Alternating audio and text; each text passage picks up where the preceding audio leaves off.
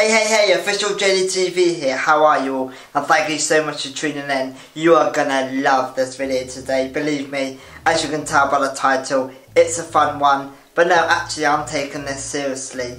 Now we had a bit of bad news the other day, or good news, who depending who you are. We are out of the EU, England are out of the EU and we are on our own, Britain once again. Did you vote? I did, but I'm not here to talk about the vote because we've heard enough on telly. But I want to run for Prime Minister. I feel that I can. I've got 240 subscribers. Your guys are behind me. I feel I can run this country. And today I'm going to give you my top 10 laws or things I'd put in place to make England a much happier and a much greater place.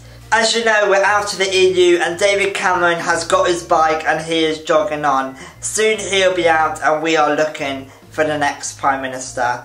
Now, I think I got what it takes, but listen up and please give me your time. First thing you're going, where's your tie? Well, in my land there's no ties. It will be law that everyone has to wear one of these. I don't even know what they're called. They're lovely, they're great, they're colourful and I think that sets the tone.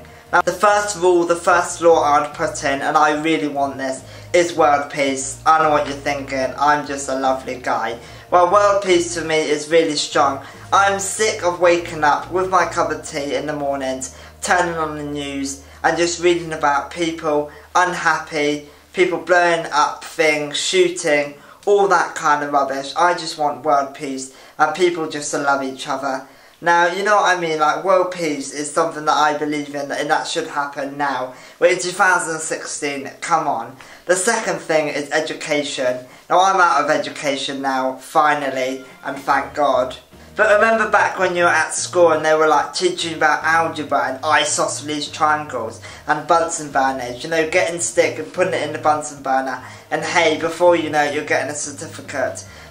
I'm 21 now and I can honestly say since I've been out of education I have not needed to know algebra. Isosceles triangles, no no no. I want to learn about laws, to pay mortgages, to pay bills, how to run a life, you know, how to get a job, uni, college, all them things that are really important. But at the moment we are learning about isosceles triangles, you know, just really silly things and it really frustrates me. My brother's at school when he brings home his homework and it's like, do you know how to do algebra? No, we never use it, you never need it. So I would really sort our education out because I strongly believe that it really needs sorting out. The teachers are actually on strike now as we speak. That says something, so that's why I should be Prime Minister because I would really, really sort the education out. Next one, and I'm going to take a drink before I say this one because this might shock you, it might not. Homelessness, number four, and that really important to me as well, homelessness. I am tired and fed up. It makes me so sad to see so many homeless people on the street. 2016, no one should be out in the cold at night, sitting on a horrible wet floor and having to sleep homelessness needs sorting out. I don't know if it's food, if it's water, if it's shelter, but something needs to happen. And also, like me, are you sick of going into shopping centres, car parks, and just smelling piss? Piss goes right up my nose straight away, and I'm like, oh, you dirty git. But they cannot help it, so I've come up with a solution. I think it should be law. If you're homeless, and this doesn't go for drunk people, you have to be homeless. You are allowed to wee in drains. It should be law for them, so they don't have to go on the street and we don't have to smell it and look at it. It should be law, they are allowed to wee and do their business in drains out of the public eye. For me, that is a definite, but homelessness needs sorting out. And now this next one, number five, it may make you laugh, you may love it, depending on what age you are. But as I said, I am 21 and I am sick of it. These new phrases, these new sayings, I'm just going to go through a few which need to be banned. Number one, which I hate, if someone texts me it, no, no, no, I may not even be your friend and I will not be listening to you for a couple of days. So you pick up your phone oh, I've got a text, someone must uh, want me. So you read it and it's like, do you want to go to a cheeky Nando's? I get my phone right and I just want to text back. Oh, yeah, I want to text back. But that word cheeky Nando's, there is nothing cheeky about it. It's chicken in sauce with a side. You gotta pay for drinks. If you like me, I get water and then I put a coke in it. That word cheeky Nando's sends me nuts. And that brings me on to the next one. These nuts. It was a video that someone done online and I'm sick of hearing it. Even when you're talking and you say something funny like, can you go and get him? It's like, got him, these nuts. And I'm like, I'm trying to have a decent conversation.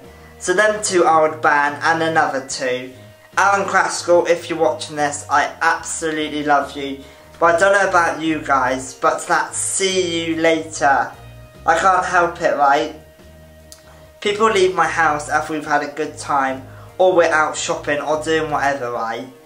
They get their sunglasses on their head, and you know what they're just about to do. And you're like, see you later, and you're just about to walk away. And they say, no, stop, turn around. I turn around, and I know, it's already like, and they go, see you later. And I'm like, if you do that one more time, I am not going to speak to you ever again. Don't get me wrong, I love Alan Kraskell. If you're watching this, let's do a collab. Let's run for Prime Minister together. Actually, I just thought of something. Can you imagine when you're firing someone, you just got Alan Kraskell in the background going, see you later. That is funny, but when your friends are doing it, 24-7. It's a no-no. And the last one, which, don't get me wrong, it was funny for like a week. But now, it's not funny. That, oh, it's going straight in my basket. One, why do you have to put on a camp voice? And two, look, I'm shopping. I put stuff in basket. That is what you do. Trolley basket, you know, that is what you do. You get your item, you put it in that basket. So your mum or your dad, when they do it, it's more cringe. My brother, I put something in the basket and he's like, that's going straight in my basket. I feel like picking up the item that I want, putting it back on the shelf and going to sit in the car. I cannot stand it. And someone, oh, you've just got to stop saying it. Funny for a week now, it's just driving me insane. So moving on to number six. Now lads, you might like this one. I'm sure I'll get your vote on this one. Every beach should be a nudist beach. I don't care if you're up north, if you're down south. England, every beach must be nudity. I don't know why, well I do know why, but come on, can you imagine? That would just be fantastic. All ages, all sizes, on that beach, looking hot, looking great, and come on, can you imagine? That would just be out of this world. Now this next one, number six. This is important if you actually think about it. When you hit 60, your birthday, you must take your driving test again. I don't drive, but I sit in the passenger seat and I look at old people. I don't even have to know. When I see someone do something stupid on the road, I automatically go, they're old. I look round, they're old their glasses, their hair, just on the steering wheel. You shouldn't be on the road. They cause accidents. They're dangerous. Once you get 60, you get a birthday card and in it gives you, I don't know if it's a token or a reminder, go and take your driving test again. Look, they passed their test, say, 40 years ago when they were 20. A lot's changed in 40 years, believe me. You have to take your driving test again. For my safety and for everyone else's safety. You're 60, get yourself to that driving test centre and do your test, please. Now, number 8. Now, this is at the YouTubers. I know I'm a YouTuber and I'm a successful one with my 240 plus YouTubers, which I'm very grateful for. But I watch YouTubers day in, day out please guys, if you're to write your own book, or if you're gonna do a video that's interesting, make it your own. You know, if you're writing a book, write it yourself. That's rule number one. I don't even have to say it. But come on, write your own book and you're selling it to your fans. You're sitting on that paper and you're just living life. And also collabs. If you're sat there with 10 subscribers or 100 and you're doing a collaboration with someone with, I don't know, 100,000 come on, overnight you're going to be a success, but is your YouTube actually great? Probably not because you're using them things. Actually, PS on a side note, Zoella, if you're watching, you know, just um, call me and uh, we'll sort some accounts. But um, that's me, I'll be Prime Minister, I'm allowed to be calling YouTubers uh, to my office. But YouTubers, get your content right. And you know, come on, you know, stuff has got to happen. Now number nine, now this will be a great one for the Aussies.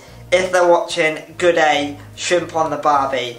Number nine, I think Britain needs to be more Australian. Now I say that, you see Australia, they choose who they go in. You've got to have, you know, an, a good job or you've got to have a good trade or you can offer our country something. You know, you don't have to be Australian, but you've got to be, you know, good at what you're doing to come in this country. Also, I want to see barbecues everywhere and people having a good time. Shrimp on the Barbie is the nicest thing and we need to bring more of that into Britain. So I really think me being Prime Minister will be more Australian. I think I've got, I think I'm 5% Australian, so I count. We need to rub that more off on these Britain on Britain and we need to be more Australian. That is so important. I don't know about you or do you agree, but come on, think about it. Shrimp on the Barbie, good cricket team, what more do you want? This last one, number 10, the most important, I save it for last. Deep breath, this one. It's important. Everyone must subscribe to official JD TV down below. Make sure you do it. Subscribe to me because I'll make people happy, laugh, a great community and we work together and that's what it's all about. So they must subscribe to official JD TV. Please do it now, it would mean so much. Wow, that was absolutely amazing. So that was my top 10 laws and things I'd put in place if I ran this country, I really want to be Prime Minister and let's make it happen. David Cameron, he got his bike and he jogged on. He should be out soon, so we are really looking for the next Prime Minister. I think I got what it takes. I don't know about you, but please let me know. Leave your comments in the comment box below.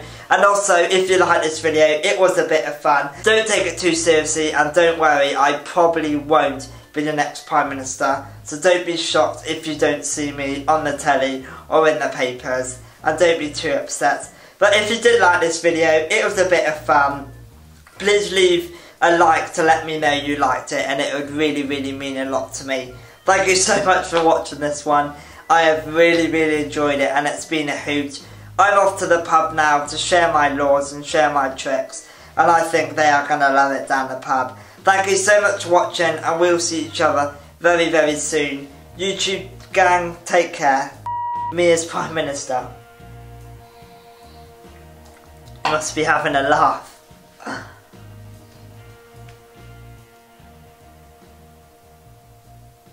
No, seriously, you must be having a laugh.